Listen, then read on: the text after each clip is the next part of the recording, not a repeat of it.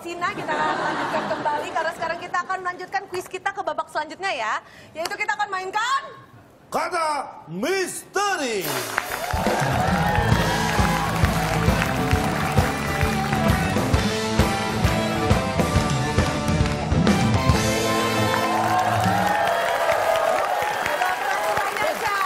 Saya jelaskan bagi yang mungkin baru pertama kali ikut kuis kata misteri.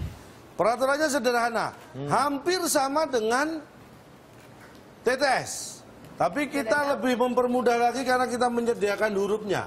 Nanti akan ada 9 huruf di sini, Anda bisa memilih berapapun huruf yang Anda butuhkan untuk bisa menjawab soal. Kata misteri pertama.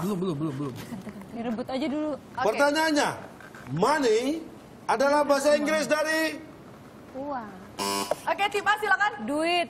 Duit. Duit dari tim A. Duit. Kalau menekan baru menjawab ya, jadi jangan menyebut jawaban dulu. Duit ada di sana. Apakah duit jawaban yang benar? Money adalah bahasa Inggris dari duit. Oh, bukan. Bukan itu yang dimaksud silakan tim B. Uang. Uang. Tim B menjawab uang. Uangnya Apakah uang aja ada? ya? Uang. Oh, ada. Apakah uang? Money adalah bahasa Inggris dari uang. Money. Bukan itu yang dimaksud. Duit bukan uang. Ternyata jawabannya adalah Money adalah bahasa Inggris dari kali. Jawabannya memang dari dulu ya bukan baru ya. Bukan baru. Jadi dari dulu Anda mengenal money itu memang bahasa Inggris. Jadi Jangan- money itu bahasa Inggris dari dulu. Iya. Bukan barusan. Oke ya.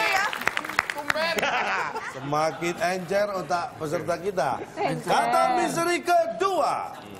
Yang setiap hari dimakan ayam.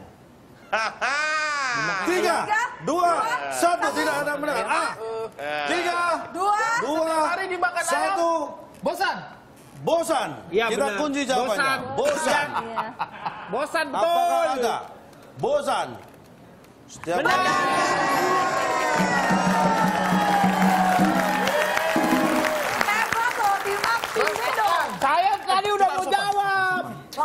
Itu SPBU kata saya tuh. Kenapa SPBU?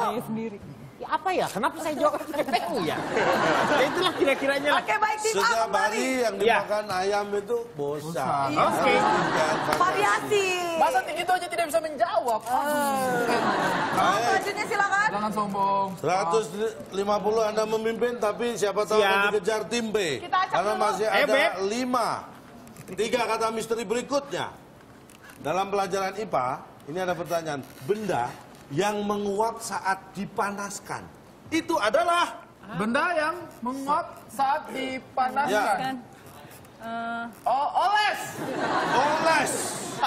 Apakah ada oles? Obat batuk oles. Benda oles ya berarti ya. apa? Oles. Benda Apakah yang- ini jawabannya? Oh, salah. Bukan itu yang dimaksud silakan tim B. Ini Apa dalam benda pelajaran yang- IPA ini. Di. Di Pak. Dalam pelajaran IPA tahu IPA, IPA kan ilmu tahu pengetahuan IPA alam. saya, iya. Baik, soalnya Ada pertanyaan benda yang menguap saat dipanaskan. Itu adalah? Oh, raiso. tiga, Dua. dua, Oli. satu, oli.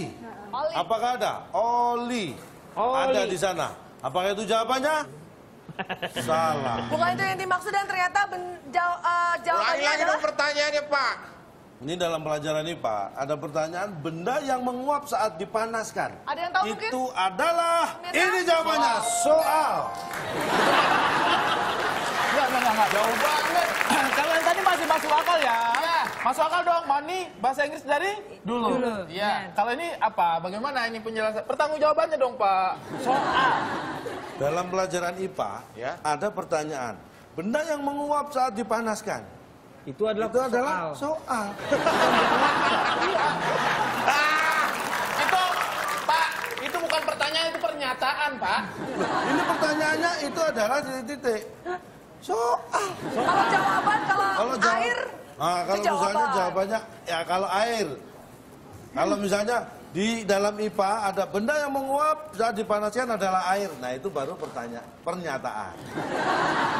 Tapi kalau dalam pelajaran IPA ada pertanyaan benda yang menguap saat dipanaskan Ya. itu adalah soal. Contoh soal, bisa kali contoh soal, itu adalah soal. Kalau contoh soal biasanya di matematika Kalau ya. Anda ada contoh soal, memang ada contoh jawaban. Contoh jawaban soalnya soal. Iya, iya, iya, iya. Iya. Iya, iya, iya. Ya? Oke baik, sepertinya musyawarah mufakat Tidak, sudah Pak. menemukan titik terang ya. Jawabannya berarti soal ya Pak. Soal. Oke, ya? baik. Jawabannya soal. Beb, jawab Beb. Baik kita lanjutkan. kejawab. Ini masih berkaitan dengan ilmu fisika. Ah. Berkaitan dengan ilmu listrik. Setrika, jika dialiri listrik, bisa menghasilkan. Panas. Tekan dulu. Ya, Silakan tim B.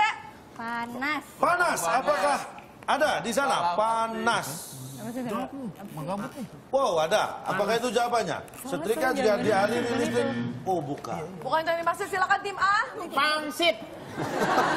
Setrika jika dialiri listrik bisa menghasilkan.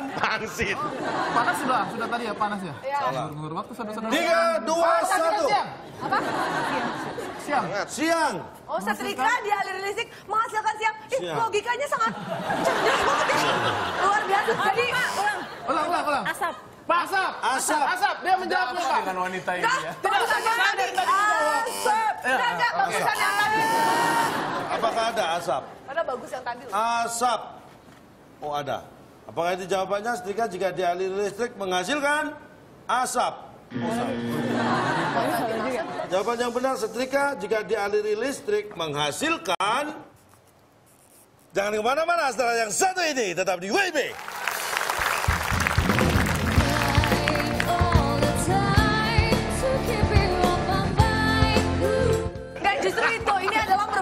pelajaran juga untuk pemirsa di rumah bahwa terkadang manusia itu sering kali meremehkan hal-hal kecil ya. Padahal itu esensial sih. Gak usah sok bijak bisa nggak kalau sama sana. itu merusak logika kita.